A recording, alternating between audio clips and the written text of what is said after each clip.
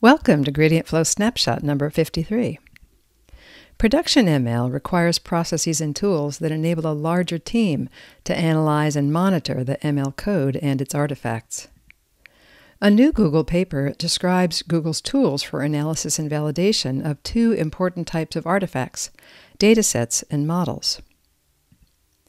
ML depends on the quality of the input data to produce a good model, so data validation is an essential process.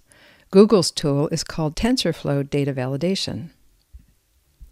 Data validation typically involves visualizing the statistics of a batch of data, then comparing statistics between batches of data. The TensorFlow Model Analysis Architecture, or TFMA, consists of four components read inputs, extraction, evaluation, and write results. TFMA can compute model metrics over slices of data that the user is interested in. Google's tools are in use at Google and other large organizations and have received attention from the open source community.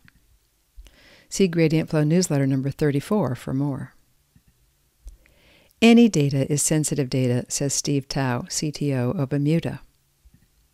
Speaking with Gradient Flow founder Ben Lorica, Touw said that a majority of companies they surveyed have sensitive data they need to analyze, and many are using multiple data warehouses or compute engines.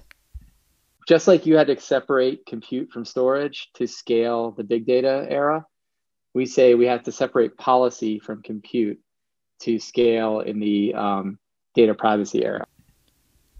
If you do data governance right, says Touw, you are meeting the privacy principles required and you're able to do valuable analytics with the data. Touw notes that two software features align well with data governance scalability and stability. To learn more, visit gradientflow.com slash newsletter and subscribe.